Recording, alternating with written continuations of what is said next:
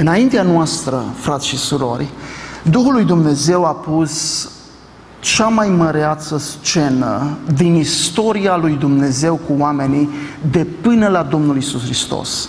Este o scenă care anunță ceea ce s-a întâmplat la Golgota cu Fiul lui Dumnezeu, cu Domnul nostru.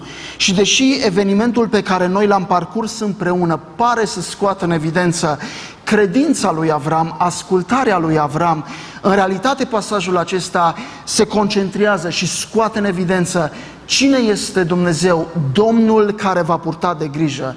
De aceea, mesajul care ne stă înainte, așa l-am și intitulat, Domnul va purta de grijă. Acum, primii ascultători acestei părți din Geneza au fost evrei care urmau să intre în țara Canaan. Un popor tânăr, dar pe care Dumnezeu l-a binecuvântat cu cuvânt pentru că Moise, inspirat de Duhul Sfânt, a scris și descoperind Duhul Sfânt ce este important în viața lui Avram, i-a arătat acest eveniment pe care noi l-am parcurs prin citirea Scripturii. Și evreii, pe măsură ce ascultau, și-au dat seama că se pune întrebarea ei cu cine se identifică.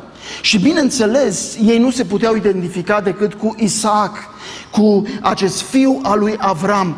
Pentru că întrebarea în mintea lor este, va trăi sau va muri Isaac? Pentru că dacă moare și dacă Avram îl omoară, atunci nu va mai exista poporul evreu, nu va mai exista poporul lui Dumnezeu, căruia să-i fie dată legea. Însă pe măsură ce întâmplarea se derulează sub ochii lor, ei înțeleg că Domnul va purta de grijă și Dumnezeu a asigurat lucrurile ca să fie viață pentru Isaac, deci viață pentru Israel. Deci Dumnezeu ce a început cu Avram continuă cu Isaac și continuă și cu ei, primii ascultători. Și ce au învățat și ce trebuie să vedem și noi imediat este că Dumnezeu în Vechiul Testament poporului său i-a purtat de grijă. Dar Dumnezeu își împlinește numele, caracterul său vădit în semnificația numelui. Și noi știm că Dumnezeu n-a purtat de grijă numai acolo, lui Avram, Isaac și evreilor, ci Dumnezeu a purtat de grijă și l-a trimis pe Domnul Isus Hristos, Fiul Său, pentru ca oricine dintre neamuri sau dintre evrei, oricine crede în El, să aibă viață veșnică și în felul acesta să intre sub binecuvântarea lui Dumnezeu. Fratele Valentin Popovici surprindea și el această viață a poporului lui Dumnezeu din perioada noului legământ, viață care curge de la Golgota, unde Fiul lui Dumnezeu a fost pus pe altar și cu adevărat a murit, nu ca și Isaac, el a murit. Și iată cuvintele poeziei. Când Domnul pe cruce s-a frânt pentru mine, afrând și puterile morții meschine. De atunci ori și cine a crezut nu mai moare, ci merge pe calea cea vie înspre soare. Când Domnul sorbea de pe crucea urgiei în chinuri cumplite paharul mâniei, a șters și zapisul poruncii de șarte ce mă blestema fără milă la moarte. Când Domnul striga de pe cruce, mie sete, iar sângele lui se scurgea pe îndelete, atunci mi-a țâșnit din Golgota și mie izvorul vieții cu apa cea vie. Când Domnul pe cruce în bezna de amiază privea peste viacuri spre cei ce urmează, atunci mă căuta cu întreaga ființă, atunci a, să, a sădit și în mine credință. Când Domnul pe cruce lupta cu vâltoarea, atunci începea pentru noi sărbătoarea. Când El se stingea în blestemul pierzării, atunci s-a aprins și lumina iertării, pentru că Dumnezeu este Jehova Ire, Dumnezeu poartă de grijă. Și deși Dumnezeu a purtat de grijă și deși ceea ce anunța această jertfire a lui Isaac s-a împlinit în Domnul nostru Isus Hristos, noi ca și comunitate evanghelică am uh, transmis o evanghelie în jurul nostru care nu mai pune povară pe oameni cu privire la păcatele lor, cu privire la nelegiuirile lor. Am ajuns ca în loc să transmitem oamenilor cât de disperată este nevoia lor de pocăință, să transmitem ideea unui Isus, unui Isus de care probabil că o să aibă și ei nevoie. Și le-am spus că Dumnezeu, Domnul Isus Hristos este Cel care îi ajută în problemele financiare, în problemele de boală, în încercările vieții, în frământările sufletești. Și datorită vremurilor de îndestulare în care noi trăim, oamenii nu neapărat au avut atâta nevoie de Domnul Isus în aspectele acestea. Și dintr-o dată Domnul Isus Hristos, Evanghelia pe care noi o transmiteam, le vorbea despre un Isus Hristos de care uh, au nevoie ca să le aducă acea uh, picătură de fericire care le lipsește în viață, că în rest au de toate. Și când au ascultat Evanghelia pe care noi o, trans- o transmitem în ultimii zeci de ani, Domnul Isus Hristos este ca un fel de, uh, știți, după o masă îmbelșugată, când ai avut de toate, când deja ești giftuit până aici, vine momentul desertului și apare un tort și el e mare și frumos, dar tot, tot ce ai nevoie este o frântură, că numai încă câteva linguri de zahăr nu mai poți să mai iei. Și Domnul Isus Hristos, ca urmare, este dat ca acea picătură care întregește desertul vieții, masa vieții. Și realizăm când privim la ce se întâmplă în jurul nostru, că în loc să transmitem nevoia disperată a oamenilor după Domnul Isus Hristos și oamenii să ajungă să îl iubească pentru lucrarea Lui, oamenii au ajuns să vadă că au nevoie să fie iertați puțin și atunci îl iubesc pe Domnul Isus Hristos puțin. Dar ceea ce ne îndeamnă pasajul acesta să medităm este că Evanghelia lui Dumnezeu vorbește despre o situație disperată a oamenilor. Pentru că mânia lui Dumnezeu este peste ei. Și asta înseamnă dacă copilul tău nu este mântuit, este sub mânia lui Dumnezeu. Și asta înseamnă că dacă soțul sau soția ta nu este mântuită, se află sub mânia lui Dumnezeu. Și asta înseamnă că dacă părinții tăi nu sunt mântuiți, se află sub mânia lui Dumnezeu.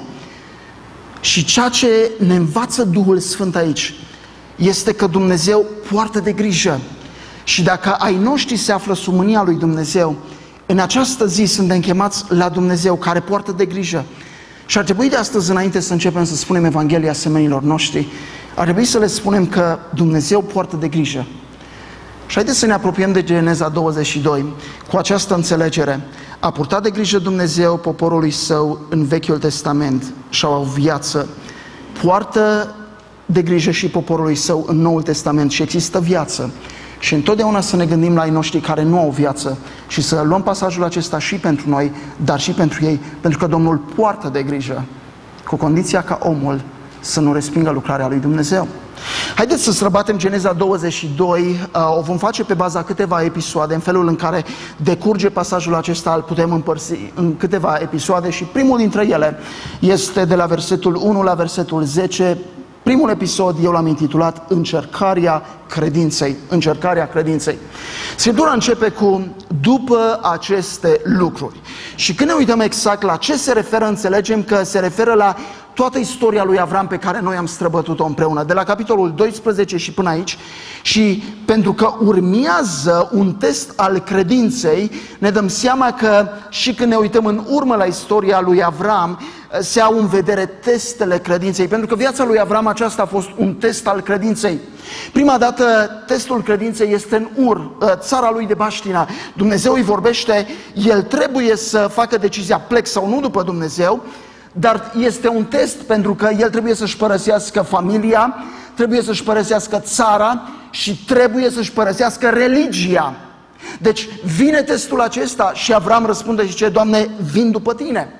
Urmează apoi un alt test. Avram n-a plecat singur, l-a luat și pe Lot cu el. Și în Canaan Dumnezeu vine cu testul acesta. Avram, tu poate te mai poți bizui pe nepotul tău, familia ta. Ia să te separi de el ca să mai numai pe mine. Și vine momentul separării de Lot. Și în această dimineață probabil că ar trebui să ne gândim că Dumnezeu când ne cheamă să-L urmăm, da, ne cere câteodată să renunțăm la religie, la familie, la orice, să-L avem numai pe El. Dar sunt încă în viața noastră lucruri pe care ne bizuim și Dumnezeu vrea și pe acelea să le îndepărteze. Și apoi vine un al treilea test, testul din ziua când Avram a trebuit să o trimită pe Agar și pe Ismael, să-i trimită din familia lui, era copilul lui. Și Dumnezeu îi spune, trebuie să-i trimiți din casa ta. Și ne dăm seama că Avram trebuie să-i dea afară pentru că era o amenințare cu privire la împlinirea promisiunii lui Dumnezeu și câteodată Dumnezeu ne testează și vrea să scoatem din viața noastră tot ce e o amenințare la umblare cu credincioșie pe calea Lui. Și apoi Avram test, ă, trece printr-un test permanent, testul răbdării. Dumnezeu a vorbit, Dar când va împlini Dumnezeu ce a spus, ce a promis și cu răbdare anii trec și El trebuie să treacă prin testul acesta și s-ar putea că și tu te rogi de mult, s-ar putea de mult să ceri îndurarea lui Dumnezeu și nu a venit în viața ta. Vreau să-ți spun în această zi să stai tare în credință, pentru că s-ar putea să vină același test. Dumnezeu care a promis va împlini, dar la timpul lui și la momentul perfect. Însă de-a lungul testelor acestora, ceea ce am învățat împreună și ceea ce se întâmplă și în viața noastră, este că fiecare test este folosit de Dumnezeu ca să dezbrace pe Avram și să ne dezbrace pe noi. De toate lucrurile pe care ne mai bizuim, de toate hai să le numim vicleșugurile noastre, mașinațiunile noastre, ca să avem o viață mai ușoară și să putem după aceea să spunem, iată că trăiesc binecuvântat de Dumnezeu. Pentru că asta putea să spună Avram după ce l-a avut pe Ismael. Dar Dumnezeu spune, nu, îți spun înainte un test ca să trebuiască să rămâi numai cu mine. Și s-ar putea la fel să facă Dumnezeu și cu noi. Frații mei, la vârsta de 21 de ani, Jim Elliot a fost martirizat în Ecuador la doar șapte ani după ce a scris cuvintele acestea. Cineva nu-și predă întreaga viață dintr-o dată Domnului, ceea ce se întinde pe durata unei vieți întregi, poate fi predat Domnului numai pas cu pas de-a lungul acesteia. Deci ca și în cazul lui Avram, viața noastră este o viață în care Dumnezeu lucrează și vin teste și lucrarea Lui și ne vorbește.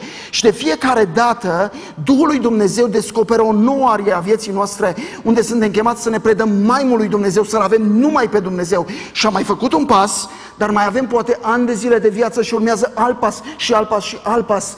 Și asta înseamnă că indiferent de vârsta ta, poți să fii de mult pensionar, înseamnă că încă Dumnezeu are de lucru cu viața ta. Și Dumnezeu ce vrea este și azi, și mâine, și câte mai ține, să fie un nou pas în predarea fiecărui aspect al vieții tale lui. Poate că este gura ta, poate că este mintea ta, Poate că sunt deciziile care le faci fără să-L consulți. Poate că nu te porți bine cu copiii tăi, cu părinții tăi, cu familia. Poate nu-ți pasă de biserica Domnului atât cât ar trebui să-ți pese. Poate că în loc să te închini și să-L slujești pe Dumnezeu, din când în când ai și pe la biserică. Eu nu știu. Dar ce știu este că Dumnezeu de aceea ne dă o viață ca să ne apropiem de El, să-L cunoaștem și pe măsură ce pășim cu El, să renunțăm tot mai mult la orice altceva și să-L avem numai pe El.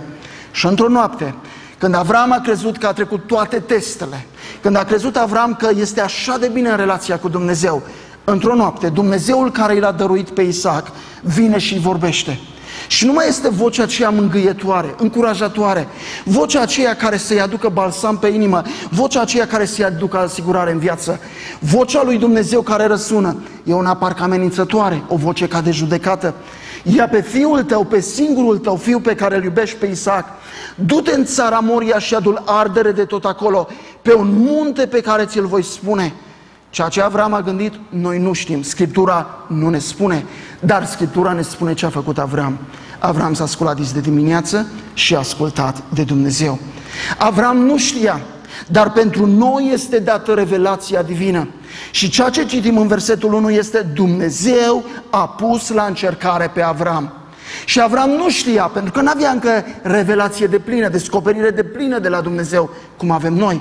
Dar noi știm din Iacov 1, 12 și 13, nimeni când este ispitit să nu zică, sunt ispitit de Dumnezeu, căci Dumnezeu nu poate fi ispitit ca să facă rău și El însuși nu ispitește pe nimeni. Adică, când Dumnezeu pune pe cineva la testarea credinței, Niciodată scopul lui Dumnezeu nu este rău, nu este malefic, nu este ca să distrugă pe cineva.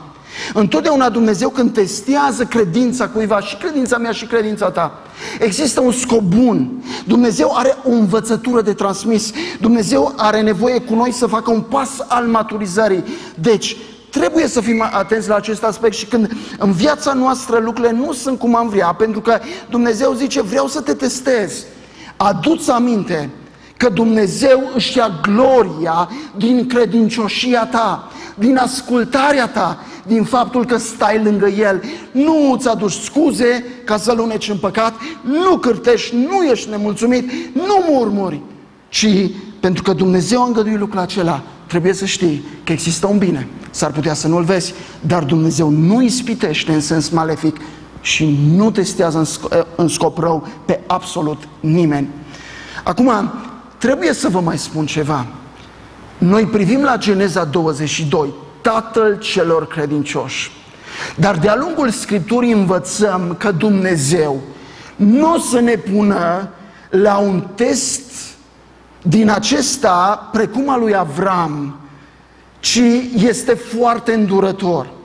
Și Calvin, reformatorul care a meditat la testele lui Dumnezeu, pornind de aici din Geneza 22, spunea în felul acesta, într-adevăr, Domnul este așa de îngăduitor cu infirmitățile noastre, încât nu încearcă cu severitate și absurditate credința noastră. Totuși, a intenționat ca prin Tatăl tuturor credincioșilor să ne așeze un exemplu înainte prin care să ne poată chema la încercarea credinței. O, nu încercarea credinței la nivelul lui Avram, dar fii atent, că o credință netestată este o credință inexistentă.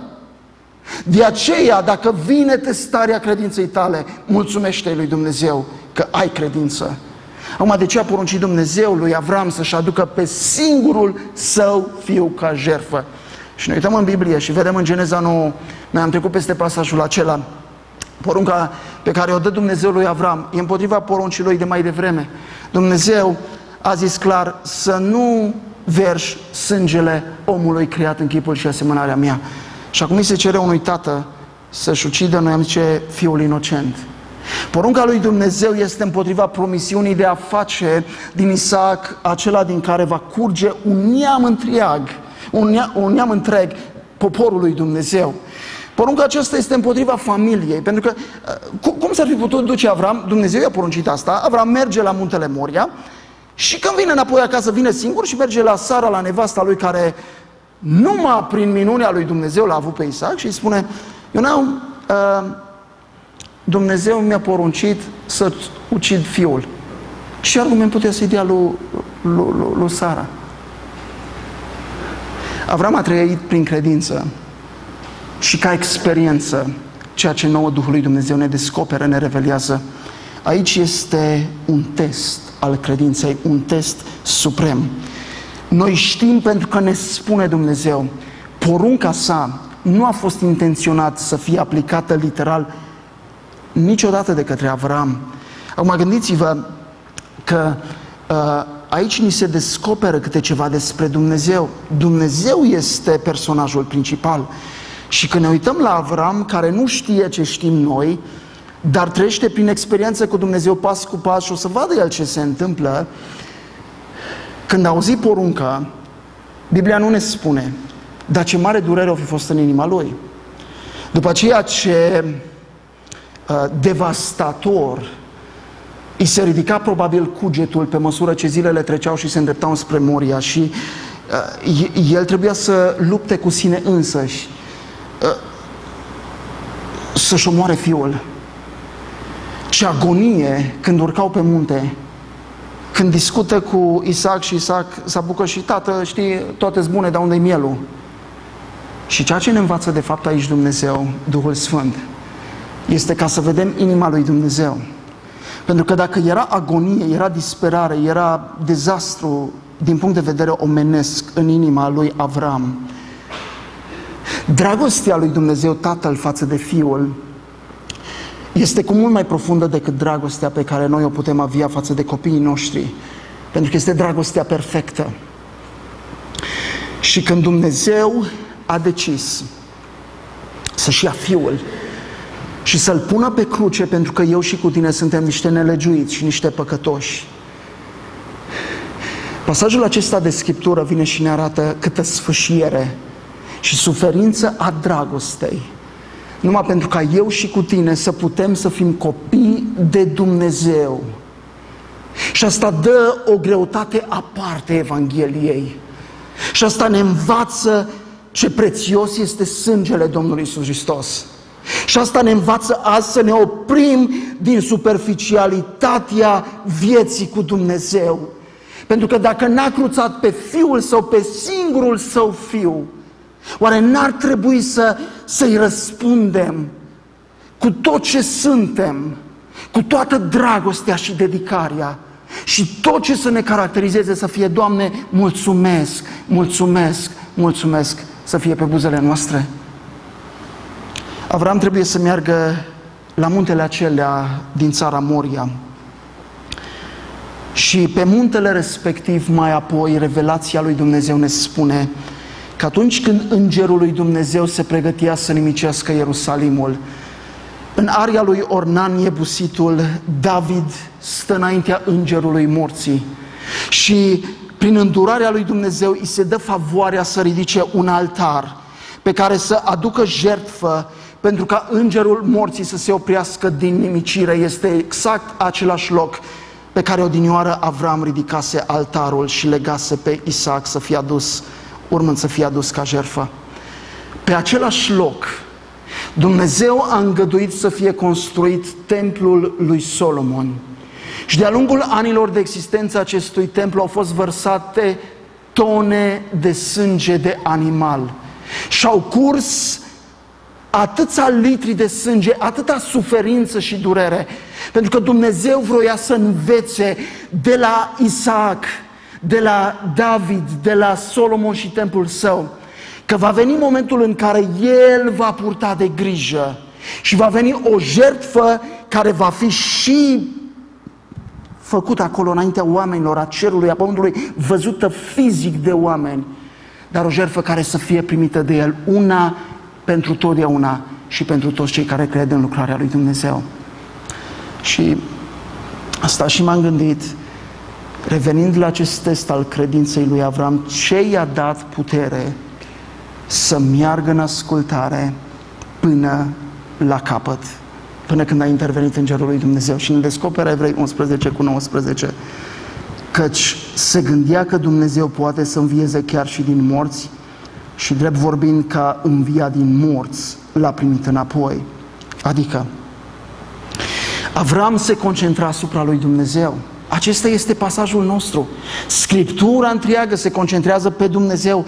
Avram se concentra asupra lui Dumnezeu și se gândea cine este Dumnezeul pe care el îl cunoaște, cum a acționat Dumnezeul măreției, gloriei, dragostei, chemării la viață de sfințenie, Dumnezeul măreț, și ceea ce Avram știa este că în Dumnezeu nu există contradicție. Și dacă Dumnezeu l-a chemat să își aducă fiul ca și jertfă, Avram nu se oprea la moartea lui Isaac. Gândul său ne spune Evrei 11, era dincolo, pentru că Avram știe că nu există contradicție în Dumnezeu. Și un autor creștin spunea că o înviere este compatibilă cu natura lui Dumnezeu, dar o contradicție nu este compatibilă cu natura lui Dumnezeu. Dumnezeu este viață și este autorul vieții. Pentru El care a creat universul, inclusiv omul, este un lucru mărunt să aducă la viață un trup mort. Deci Avram a biruit testul credinței privind la Dumnezeu, la caracterul lui Dumnezeu. Și asta înseamnă că Avram a privit la Dumnezeu care va purta de grijă. Și asta înseamnă când eu și cu tine trecem prin încercările vieții, prin suferințele vieții, prin problemele care poate o să ne ducă la moarte, nu știm. Ori în ce test sau încercare suntem, ceea ce ne dă puterea să mergem mai departe, nu este să vedem încercarea, testarea, problema, ci să privim înainte la Dumnezeu care poartă de grijă, să privim la caracterul lui Dumnezeu. Deci în testarea credinței noastre învățăm ceea ce ne va face biruitori. Nu este să ne uităm la noi și puterile și resursele noastre, ci să ne uităm la Dumnezeu Jehova Ire, Dumnezeul care va purta de grijă. Al doilea episod din pasajul acesta care ne stă sub ochi este de la versetul 11 la 14. Eu l-am intitulat Dumnezeu arată cum este Jehova Ire. Dumnezeu arată cum este. Asta ne vorbesc versetele acestea, Jehova Ire. Deci după trei zile Avram și cu slugile și cu Isaac Ajung la muntele din țara Moria și acolo doar împreună cu fiul său, cu Isaac, încep să se urce pe munte. În timp ce pășesc, discută una alta și când copilul întreabă, ă, tată, unde, unde este mielul? Răspunsul lui Avram e Dumnezeu însuși va purta grijă de mielul pentru arderea de tot. Au ajuns la locul pe care Avram știa că trebuie să... Acolo trebuie să facă altarul, acolo trebuie să se sfârșească totul și după experiența pe care deja el o avea de la Sihem, Betel, Berșeba, așa cum am văzut de-a lungul timpului, a zidit un altar, știa să zidească altare, l-a zidit. Apoi a luat lemnele pe care Isaac le cărase, le-a pus pe altar și a luat fiul său și uh, l-a legat, l-a pus peste lemne și când a întins mâna să ia cuțitul, Dumnezeu a intervenit. Demo- a, aici a demonstrat Avram uh, credință. Până aici a demonstrat uh, încredere în Dumnezeu. Până aici a demonstrat că îl iubește mai mult de, pe Dumnezeu decât pe Isaac. Și în momentul acesta intervine îngerul lui Dumnezeu și îi poruncește foarte ferm să nu pui mâna pe băiat și să nu faci nimic, că știu acum că te tem de Dumnezeu, pentru că n-ai cruțat pe fiul tău, pe singurul tău fiu pentru mine. Și Avram aude și lasă cuțitul din mână și când își ridică privirea, în fața lui este un animal pregătit de Dumnezeu, s-a încurcat în tufiș, se duce și îl ia pe acel berbece și îl aduce ca jertfă. Și noi mergem mai departe, dar aici, de fapt, Duhul lui Dumnezeu deja este profesorul care ne predă ce înseamnă jertfa înlocuitoare, ce înseamnă substituția. Adică cineva moare pentru altcineva. Și eu cu tine trebuie să înțeleg lecția aceasta ca apoi să mă pot apropia de uh, jertfa primită de Dumnezeu de la cruce a Domnului Iisus Hristos și să înțeleg cum Dumnezeu a putut să îl ia pe Hristos în locul meu, cum a putut El muri în locul meu. Și asta este lecția pe care o predă aici Duhului Dumnezeu. Și Avram pune nume acestui loc unde era altarul și se petrecuse arderea de tot. Uh, Jehova Ire. Acum, în traducerea cea mai directă ar însemna Dumnezeu va vedea. În traducerea în context înseamnă așa cum avem și noi aici, Dumnezeu va purta de grijă. Și mergem mai departe. Dar ați realizat că este la timpul viitor, că Jehova Ire nu este Dumnezeu a purta de grijă, ci Dumnezeu va purta, va vedea, va purta de grijă. Și asta ne spune că Avram nu se gândea la experiența lui din trecut, nu se gândea la experiența lui cu Isaac și berbecele. Ceea ce ne spune aici Scriptura este că Avram care se concentra asupra caracterului lui Dumnezeu, vedea faptul că cel prea înalt, care cunoaște totul, care știe totul, vede nevoia cea mai mare a omenirii, păcatul, nelegiuirea, ticăloșia, vedea Dumnezeu în viitor că nu există nicio soluție omenească, că încercările poporului care urmau să fie descendenții săi de a fi plăcuți lui Dumnezeu sunt sortite eșecului și că Dumnezeu în caracterul lui a nescris nu numai să vadă adevărul, dar în caracterul lui are înscris că va aduce soluție. Deci el numește Jehova Ire, reflectând în nume caracterul lui Dumnezeu și mântuirea pe care el o va aduce. Oare nu din cauza aceasta Domnul Iisus Hristos spunea că Avram sălta de bucurie când privea înainte și vedea că va veni ziua sa? Geneza 22, deci are menirea să ne vedem cea mai mare nevoie. Păcatul și nevoia de mântuitor și faptul că Dumnezeu în măreția Lui aduce rezolvare. Sper că cei care sunteți nemântuiți să înțelegeți lucrurile acestea. Dumnezeu din partea lui Avram privit urma să aibă de grijă, dar din partea mea și a ta a avut grijă. Și dacă Dumnezeu a avut grijă, întrebarea mea este de ce îl sfidezi pe Dumnezeu și nu vii la El? De ce nu îl urmezi cum El te cheamă la credință, pocăință și o viață de ocenicie? Iar pentru cei care sunt încredincioși, aici este o lecție cu privire la un reflex spiritual pe care ar trebui să-l avem în viața noastră. Ce reflex? Noi am cunoscut mântuirea. Cunoaștem Geneza 22. Cunoaștem lucrarea la cruce a Fiului lui Dumnezeu și reflexul este acesta. Să asociem păcatul pe care îl gândim pe care îl făptuim, să asociem nelegiuirea din noi cu moartea și aceasta, moartea, să fie asociată cu Domnul Isus Hristos. Pentru ca eu și cu tine, care suntem copiii lui Dumnezeu, să ne putem duce astfel viața în Hristos, cum ne învață toată teologia Noului Testament.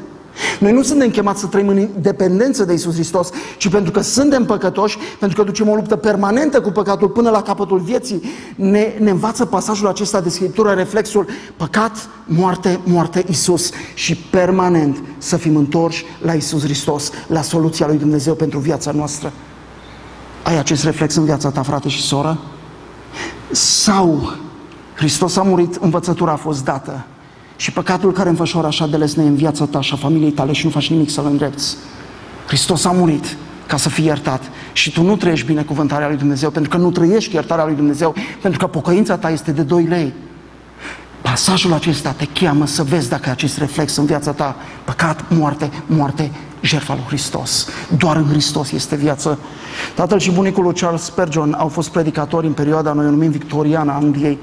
Și Charles a crescut într-o casă, într-un mediu impregnat de Evanghelie. Pe din afară el părea un copil foarte fain, ca mulți dintre copiii adunării moral, bine crescut, un copil care știe Biblia, un copil care știe versete din Biblie, un copil care se răspunde teologic când îl întrebi. Însă el a mărturisit că 5 ani în viața lui, între 10 și 15 ani, a dus o permanentă luptă cu păcatul pentru că fiecare zi îl ducea la o nouă uh, înțelegere a păcatului din viața lui. Și după 15 ani Dumnezeu i-a arătat uh, ce are pregătit pentru el în Isus Hristos. Charles a crezut în Domnul Isus Hristos, a primit viață veșnică și a devenit slujitorul pe care îl știți. El este supranumit Prințul Predicatorilor. Și acum Spurgeon, deja la ani de zile, după experiența aceasta, 5 ani de luptă, văzându-și păcatul și apoi soluția lui Dumnezeu, Spurgeon își scrie autobiografia și 20 de pagini din autobiografie el le dedică numai ca să descrie lupta, agonia pe care o avea în viața lui cu privire la starea de păcătoșenie. Vă citesc doar câteva fraze. Pentru 5 ani ca și copil nu a fost nimic altceva sub ochii mei decât vinovăție. Cu toate că nu ezit să spun că cei care mi-au privit viața nu au văzut în mine un păcat extraordinar. Când eu mă priviam, vedeam că nu trece nicio zi în care să nu comit păcat grosolan, păcat revoltător împotriva lui Dumnezeu. Așa că din nou și din nou și din nou mi-am dorit ca niciodată să nu mă fi născut.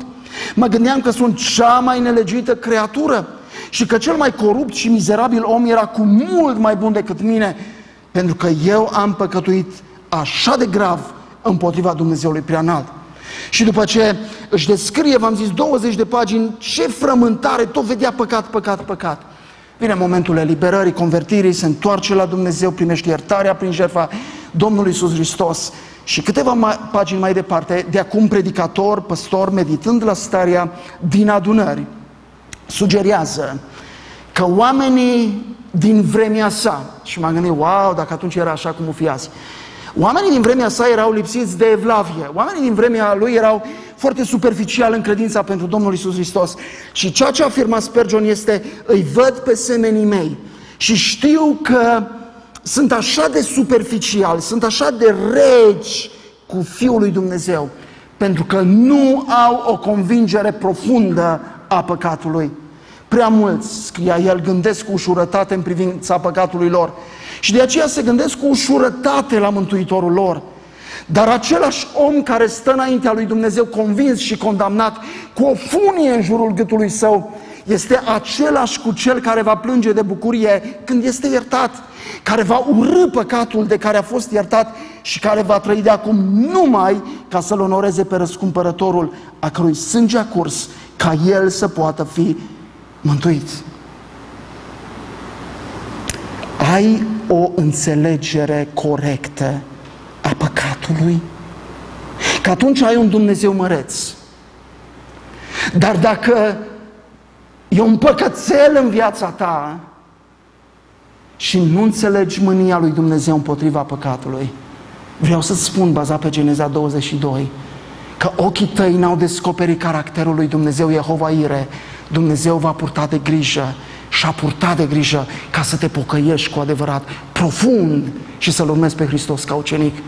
Mulți dintre credincioși privesc la Geneza 22 și spun că Jehova Ire înseamnă că Dumnezeu va purta de grijă și Dumnezeu o să ne dea casă și masă, sănătate și ani mulți pe acest pământ și Dumnezeu va purta de grijă în suferință și în boală și va da vindecare și că Dumnezeu o să fie cu noi și o să ne păzească când conducem, când călătorim acasă și așa mai departe și noi credincioșii o să fim așa de binecuvântați că Dumnezeu va purta de grijă. O, El o face. El o face că e un tată iubitor. Și dacă decide să nu ne treacă printr-un test, cu siguranță le vom avea toate acestea. Dar Jehova Ire nu vorbește despre aceasta. Jehova Ire este anunțarea profetică din Vechiul Testament că Dumnezeu va purta de grijă pentru cea mai mare nevoie a sufletului nostru, nevoia de mântuitor. Faptul că avem păcat naște nevoia de mântuitor. Așa că dacă ni se descoperă în aceste versete caracterul lui Dumnezeu, trebuie să înțelegem corect. Dumnezeu poartă de grijă în privința mântuirii noastre. Acum, dacă Dumnezeu a purtat de grijă, aceleași întrebări. Și Dumnezeu a pregătit mântuirea. De ce continui pe calea pierzării? Iar dacă Dumnezeu a pregătit mântuirea, de ce să nu te apropii de El? Să-L cunoști mai mult, să umbli cu El, să te bucuri de El aici și o veșnicie întreagă și cât trăiești, frate și soră, pe acest pământ. Să te bucuri, ești copilul lui Dumnezeu, a purtat de grijă, să fii a Lui. Așa că apropie-te de Domnul. Bucură-te de Domnul, laudă-L pe Domnul, binecuvintează-L pe Domnul, trăiește-ți viața pentru Domnul, pentru că El a purtat de grijă. Jehova Ire, Dumnezeu să fie binecuvântat. Amin? Amin. Amin. Și vreau să închei cu ultimile versete. Versete care ne stau înainte un nou episod. Ascultarea credinței, l-am intitulat eu. Scritorul inspirat de Duhul Sfânt Moise nu este preocupat de ceea ce simte Avram. Nu este preocupat de ceea ce gândește Avram. El, Moise, Duhul Sfânt care îl insuflă, este preocupat de ceea ce face Avram. Și aici ni se spune că Avram a ascultat porunca lui Dumnezeu.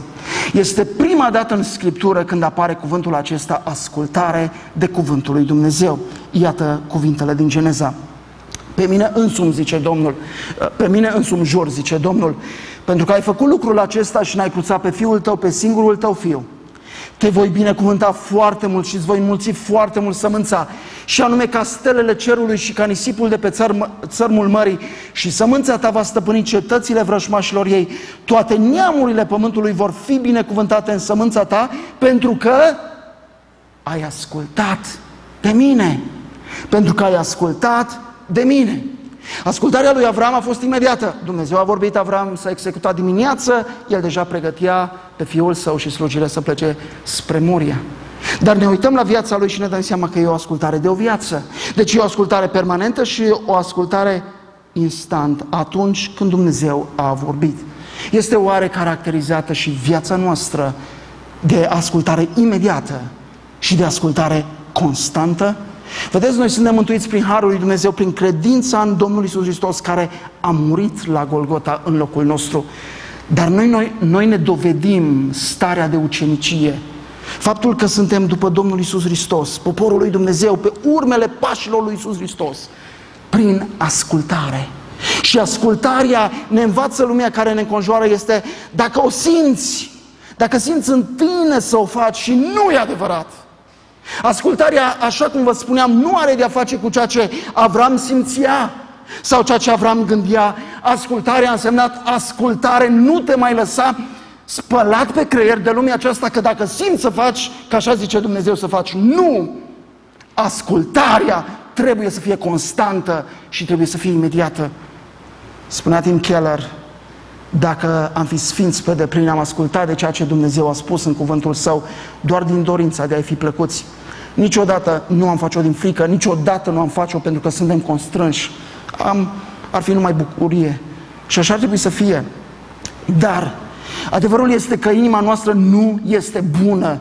Așa că câteodată trebuie să facem lucrul corect pentru că știm că trebuie făcut. Deci când Dumnezeu vine și spune ceva. If you don't feel it, so what? Pentru că Dumnezeu a vorbit. Înțelegeți? Ascultarea credinței, ai credința. Urmează ascultarea imediată și constantă până la capăt.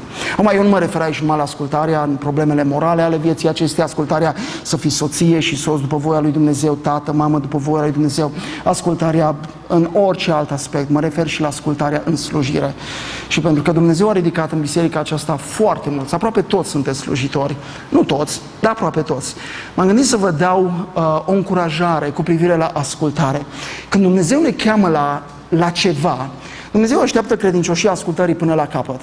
Nu ce gândim, ce simțim și dacă vedem sau nu vedem rezultate. Și frați și surori slujitori ai acestei adunări, ascultare înseamnă să-i fii credincios Domnului în ceea ce te-a chemat să faci, până când te-a chemat să faci. Și vreau să vă încurajez prin două exemple puse în paralel. Richard Greenham a slujit ca păstor într-un sat care, în Anglia, care nu era departe de Cambridge, și uh, a slujit în urmă cu mult timp, 1570-1590, iar viața lui a fost o viață foarte aglomerată. Se scula în fiecare dimineață la ora 4, în fiecare zi de luni, marți, miercuri și vineri, predica bisericii sale, care mergea comunitatea la biserică dis de dimineață, ascultau predica și plecau apoi la munca câmpului, la ce aveau fiecare de făcut.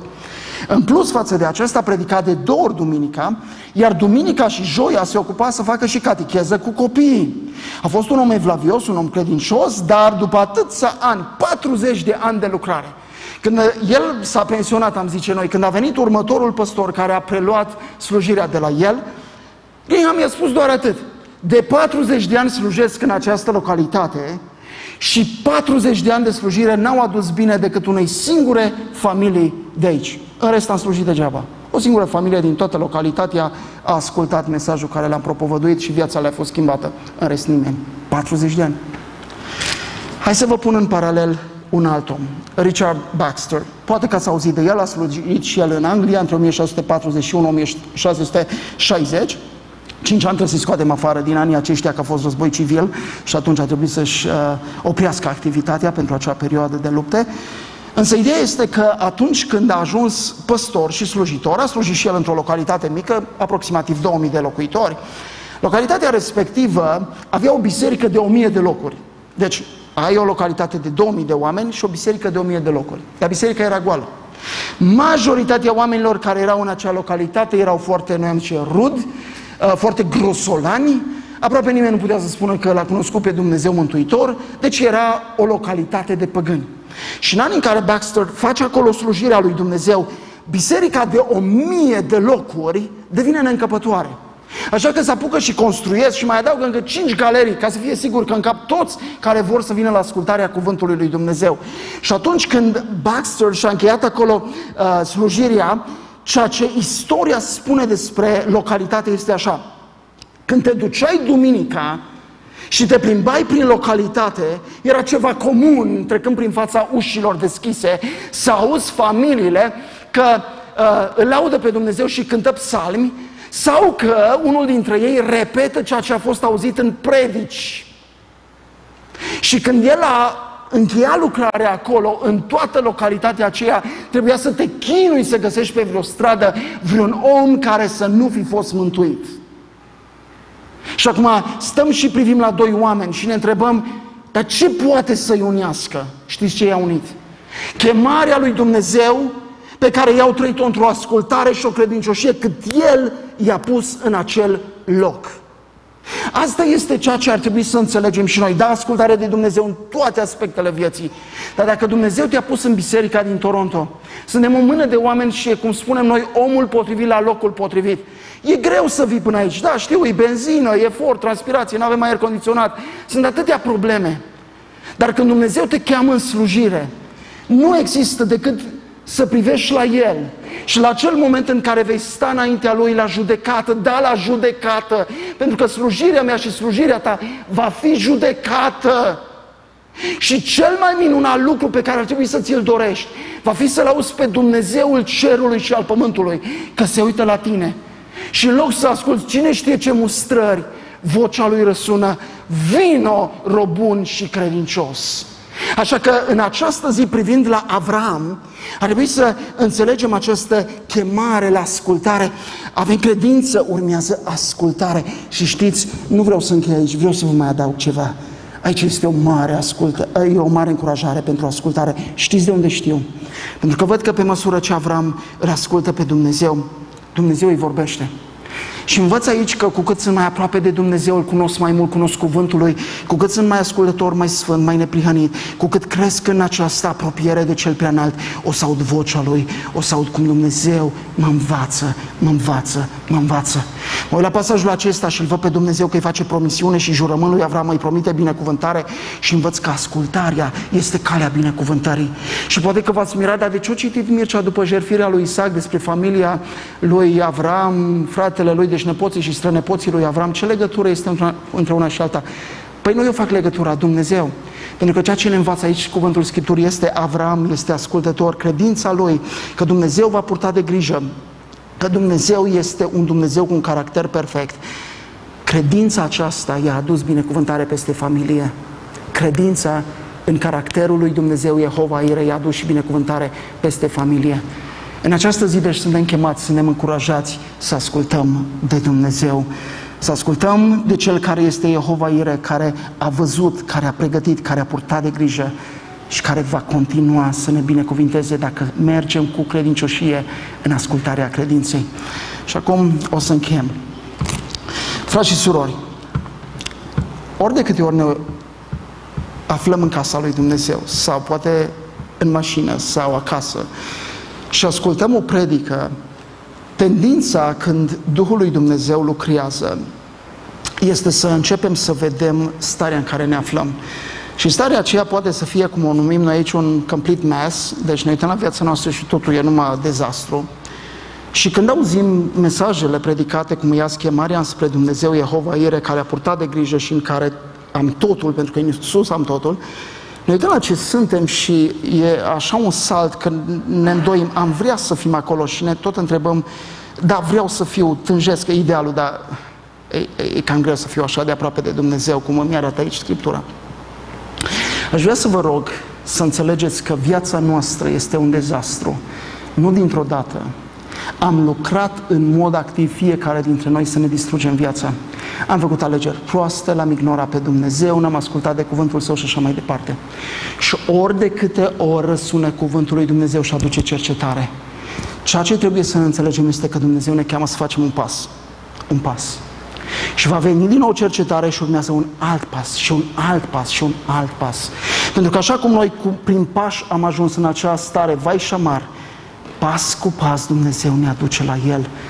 Iar această umblare pas cu pas este calea ascultării celui credincios. Așa că azi eu nu vă chem să facem un geam din acela și wow, să fim toți de acum ca și Avram. O să vă spun că e o imposibilitate. Dar ce vă spun este că Duhul lui Dumnezeu ne cheamă să facem un pas. El este Jehova Ire, Dumnezeul care a purtat de grijă. Și dacă vom crede și dacă ne vom lega de El, dacă astăzi îi vom preda tot ce suntem, tot ce vedem prin Duhul Sfânt, că nu e în rânduială în viața noastră, dacă azi vom face un pas al ascultării, Dumnezeu va fi glorificat prin aceasta și vom descoperi că viața ni se schimbă așa cum vrea Duhul lui Dumnezeu. Așa că la final aș vrea să vă chem să cântăm împreună o cântare scrisă în 1887 de John H. Samis. Este cântare ce o găsiți în cărțile de cântări la 420, 420 și a spune când umblăm cu Isus și împlinim ce ne-a spus, bucuroși calea ne va urma, iar la refren ne încurajăm unii pe ceilalți să-L ascultăm, să ne încredem în El, fericiți vom fi în Domnul când de El ascultăm. Haideți să cântăm cântarea aceasta.